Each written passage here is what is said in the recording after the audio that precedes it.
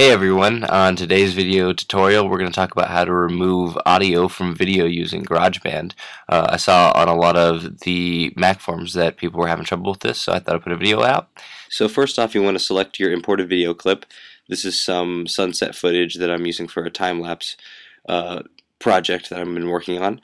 You want to take it up to the timeline, right click it using control and mouse click it'll bring up the menu and you want to click on detach audio.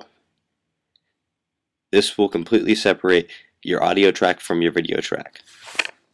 This is very helpful when you're doing narrative video projects where you have one continuous dialogue playing over a series of video clips. You also have the ability to completely remove the audio or normalize it so it fits with the volume of other tracks.